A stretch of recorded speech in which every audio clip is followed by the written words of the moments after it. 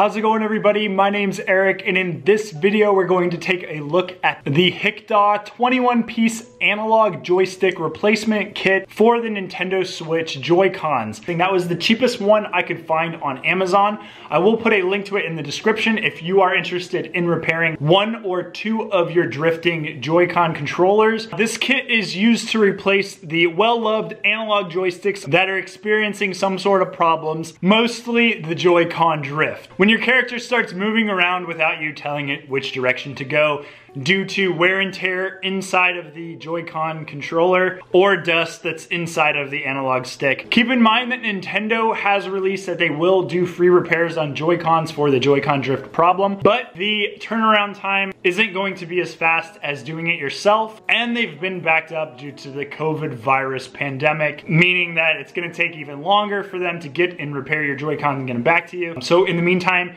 you're not gonna have them to play with. This would be for somebody who wants to learn a new skill, is very hands-on or wants to be hands-on, and wants their Joy-Cons up and running within two days, however long it takes for the Amazon package to arrive. And if you haven't already, if you could please give the video a thumbs up and consider subscribing to the channel if you are not a member already. With that being said, let's get into the product and then further on in the video, let's get on to the repair. Here is the Amazon package that we received. The total price was $9.49 before taxes. And this is what we got in the mail. A bag within a bag with another bag. And the reason I went with this listing is because it came with two Joy-Cons. It said that it came with all of the tools for the repair, a nice little carrying bag, and it was under $10. Now we'll put the listing in the description as well if you are interested in doing this repair. First thing in the kit is this little carry bag. They gave us two electronic screwdrivers, the Nintendo Y screwdriver and a, and a small Phillips head screwdriver that we're gonna use. The four screws on the outside, you're gonna use the Y screwdriver. The Phillips head screwdriver are for things that are inside of the joystick. They've given us a pair of plastic tweezers. We're gonna probably use this for ribbon cable removal or ribbon cable installation. Give us a small little plastic spudger, which you can use to separate it once the screws come out, or just manipulating parts on the board itself. They've given us two replacement analog sticks as well as some replacement screws in there. And last but not least, they give you some six colored Joy-Con analog stick little cover things. And there are indeed 21 pieces to this kit. One of them being a nice little storage container to put everything when you're done. Now we're gonna get into the repair portion.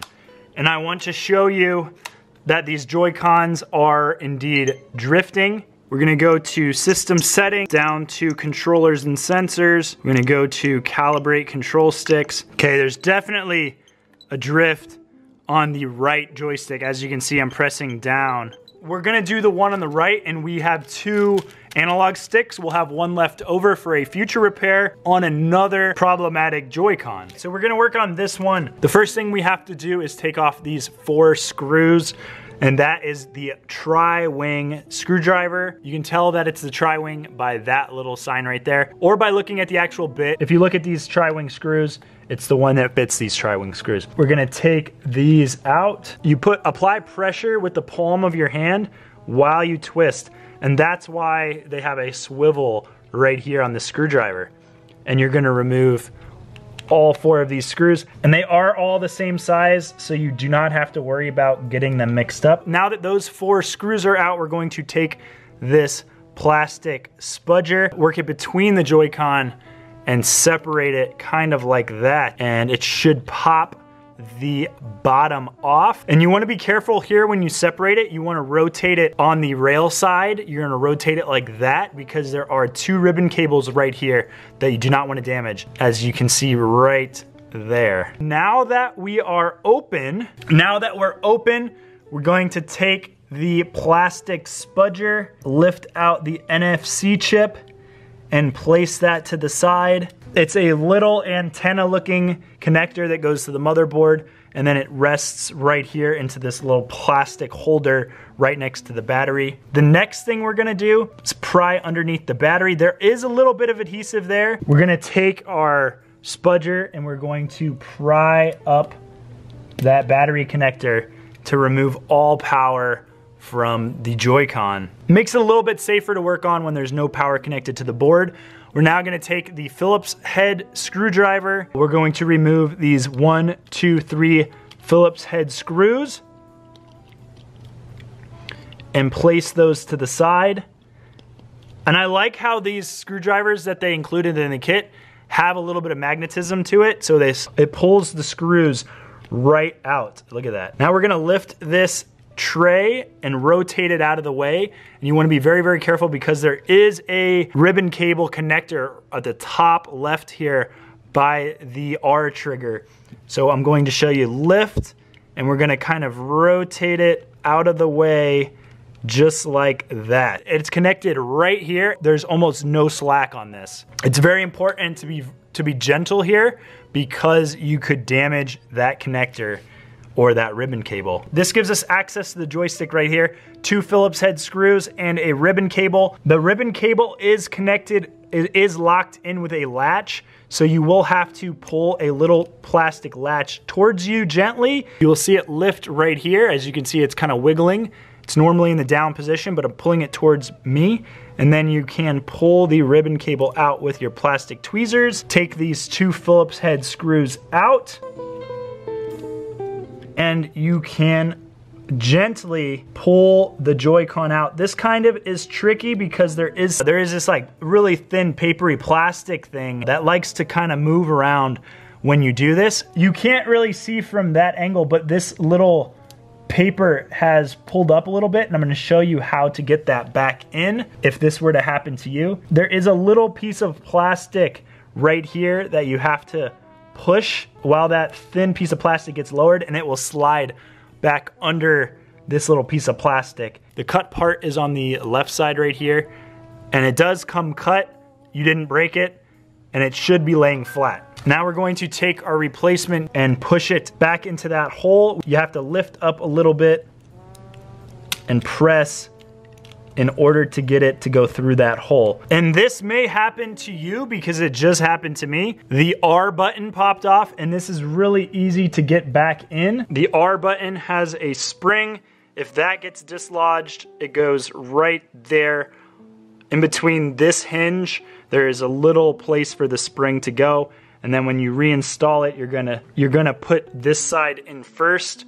That spring goes on that little shelf and then the top of it hooks under this little right angle right there. It comes out very easily and it goes back in very easily, but it's held in when this piece of plastic goes on top of it. Now we're going to reinstall two screws.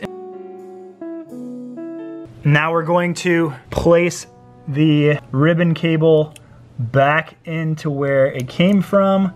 And this can be kind of tricky as well. I found the best way for me to do it is to grab it right by the neck, pull back a little bit. I found grab it right by the neck, pull back a little bit, and to get it in the hole, but not all the way in. And then take the plastic spudger from the back and slide it in. There's a little piece of plastic on the ribbon cable you can hook onto and push it. And then we're going to lock that ribbon cable with that little black lock. You're gonna press the, the black towards the board in order to lock that ribbon cable into place. We're gonna put this tray back where it needs to go by rotating it towards us and then flipping it back around. That is probably one of the hardest things right there. Is you have to be very, very gentle. You gotta put these three little gold screws back in. Now we're gonna reinstall the battery, which only goes one way with the connector matching up with this little hole in this pocket right here. And you just wanna press that in. Now we're gonna reconnect the battery to the board, which can be kind of tricky with the way that the wires are oriented. There's a side of the connector that's completely black. When the gold is poking through, that is the top. So you have to rotate the wire a certain way. It's easier to grab with your tweezers and you're gonna kind of tell it where to go. And then press it down from the top. You will hear a little click and it should connect fairly easily if it's in the correct position. Now we're going to reinstall the NFC reader right here and route the cable where it needs to go. And it just slides in right there and the cable routes all the way around the battery. We're gonna rotate the back of the case and the rail back to where it goes, press down on it on all sides, and reinstall these four tri-wing screws. Okay, you wanna check to make sure everything is flat all the way around. It looks like it all mated together really, really well. All of your buttons press like they should. Everything's tight. Now we're going to do a final test on this Joy-Con controller. That's always a good sign and a good thing to hear. We're going to press home, go to settings, go to system settings, down to controllers and sensors, test input devices, test controller buttons, and we're going to press all of the buttons. Just to make sure that they work. The home button will not work here. It'll just bring you back home. We're gonna go back to system settings. We're going to go to controllers and sensors. Down here to calibrate control sticks, press down on this right joystick and then now test this. As you can see, it comes back right like it should. There's no drift, there's no delay, there's no drag. Everything is good to go.